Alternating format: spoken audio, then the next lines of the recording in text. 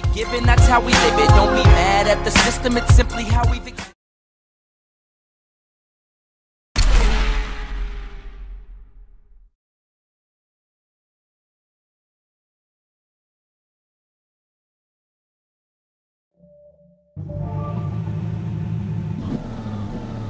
you